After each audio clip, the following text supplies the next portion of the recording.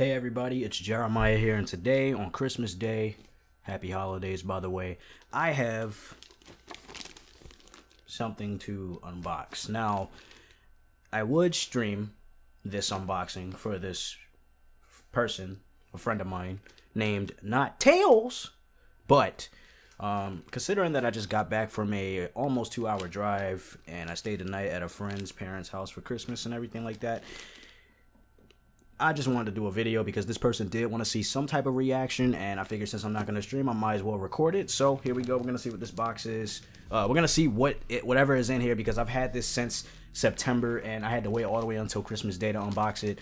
Uh, here's a picture of me and my friends. Her being on the left, which is yeah, the left. So I thought it would be backwards, but whatever. Anyway, let's get into it. We're gonna see what's actually in here.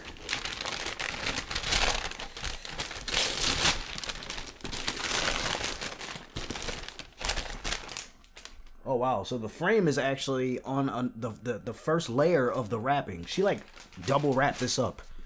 She, oops, she double wrapped this up.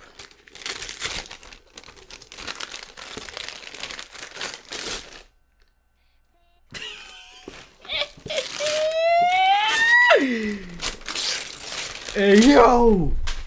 I knew it.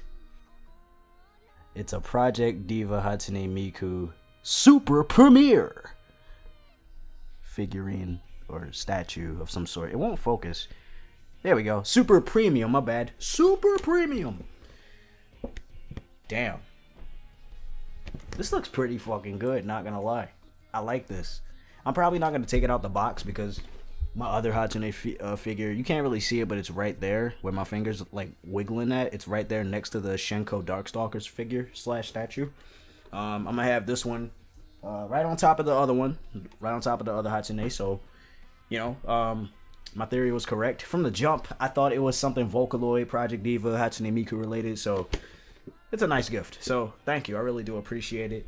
Um, I don't know if she, I don't know where she could have gotten this from. I don't know if it was from the retro store or where she works, but um, knowing her, it wouldn't surprise me if she, uh, you know, cut a few corners to get this. I don't really know, but regardless, I appreciate it. Everyone, please have a good, safe rest of the year. Uh, I uh, hope you all had a good Christmas, and if not, well, I hope this video cheered you up in any way possible, if possible. So, yeah, you all take care. I'm gonna catch you guys in the next upload. I'll see you guys whenever, if ever. Once again, Tails, thank you for the gift. I really appreciate it. Really appreciate you. Thank you for your generosity and kindness and jolliness. Um, joy is nice. So yeah, peace.